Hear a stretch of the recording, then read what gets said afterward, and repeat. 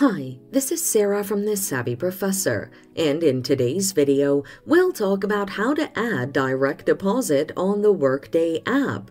Watch until the end of the video to learn more. Here is a step-by-step -step process on how to do this.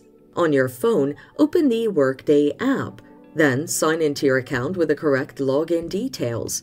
On the upper left side of the homepage, click the View All Apps option Tap the Pay option and in the Pay section, locate and select the Payment Elections option. Then tap the Add option to set up your direct deposit details.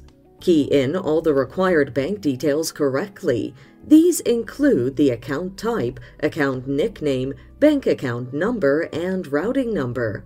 Choose your preferred payment election type, which is direct deposit, the corresponding percentage, default country, currency, and the allowed number of payment elections.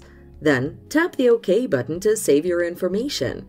And that's it. Adding a direct deposit on the Workday app is just that easy. Thanks for watching. Till next time.